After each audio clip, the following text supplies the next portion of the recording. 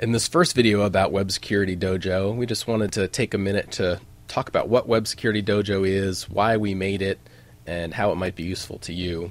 Uh, so, Web Security Dojo project basically came from an internal need to have a training environment for our classes. We do classes for various conferences and internal corporation settings. Um, we wanted to have a training environment that gave people the greatest opportunities for success. We wanted to simplify everything as much as possible, uh, have everything set up for people as much as possible with good defaults, have both the tools and the targets on people's local machines so that they could easily mess with things without you know stomping on each other's toes or having network problems or just all the various things that can go wrong. Um, so that's why we created Web Security Dojo. It's now available to the public. It's open source uh, hosted with SourceForge.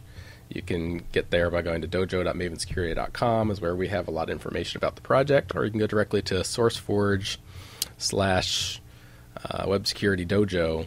Also, is the main host where we have all the downloads and bug trackers and mailing lists and all the collaboration stuff. It's actually built with a build script, so it's repeatable build, so we can produce uh, for different VMs or ISOs or other environments.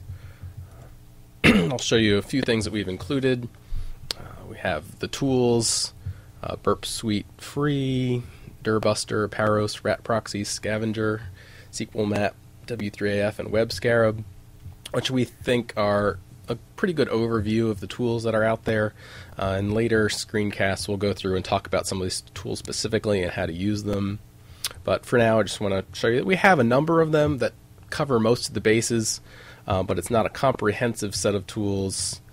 Uh, our goal isn't to overwhelm people with having you know every available tool in here. We've just picked what we think are the best of breed tools that will help you to learn the best. Um, if there are tools that people think are really good and would like to add, we're not opposed to that. Uh, we do plan on adding more tools, but for right now, we want to keep things as simple as possible so we see what people have to say about the environment. There's a couple targets that have to be started manually. Um, these are targets in different technologies. Hacme Casino is written in Ruby.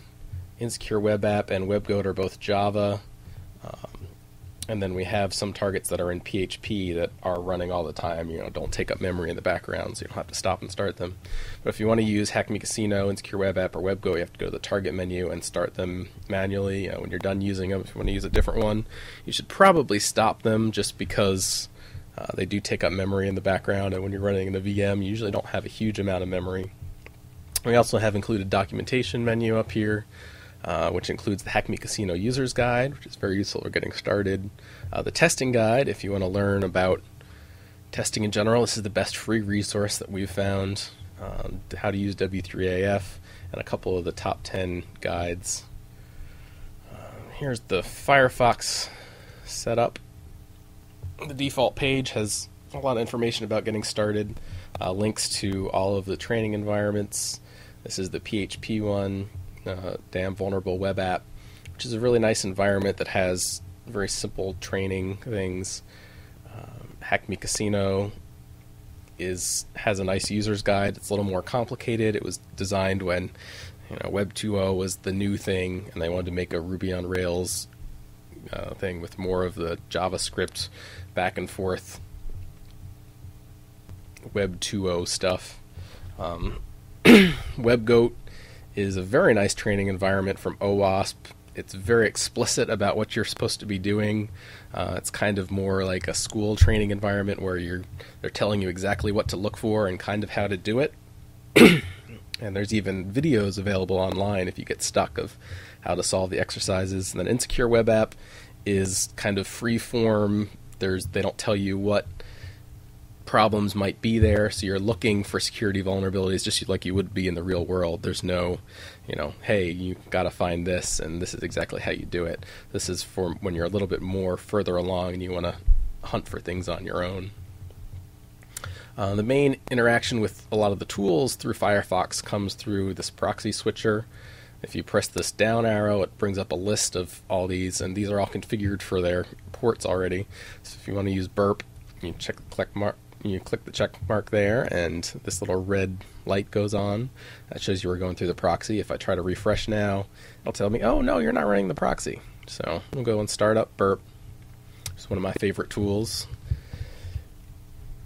And we'll refresh again and see what happens. Burp will say, oh, I'll grab that for you. We have it configured to intercept by default.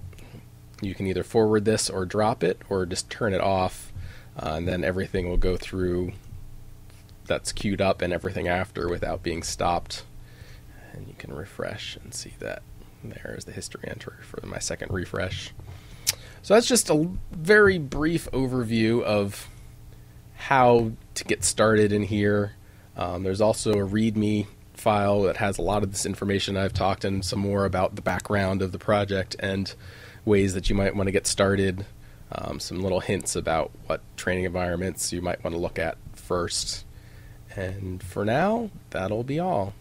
I hope you all enjoy the dojo. Please give us feedback at SourceForge and talk to you soon.